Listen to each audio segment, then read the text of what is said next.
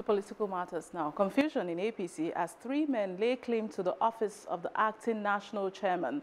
Following appeal court affirmation of Oshiomhole's suspension, the leadership crisis rocking APC has taken another dimension as three men are laying claim to the office of the acting national chairman. The latest is APC Vice Chairman South South Hilliard Eta, who declared himself chairman. Eta, who is from Cross River State, says he is taking over the reins of the party as confusion over the authentic leader of the party continues. Now, after announcing himself as the party national chairman, Eta appointed Imo State Governor Hope Uzodinma as the Edo primary election chairman.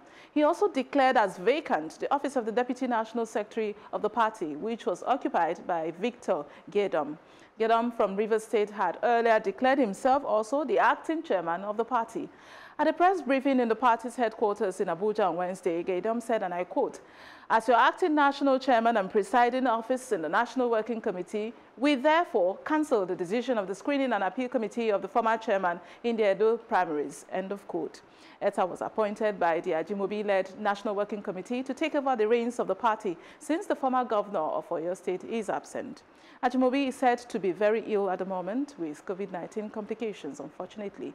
Recall that the National Working Committee of the APC announced that Senator Abiola Ajimobi will serve as the party's acting national chairman on Tuesday, June the 16th. Now, the National Working Committee made the decision after the appeal court upheld the suspension of the APC's national chairman, Adams Oshiomhole, by an FCT High Court.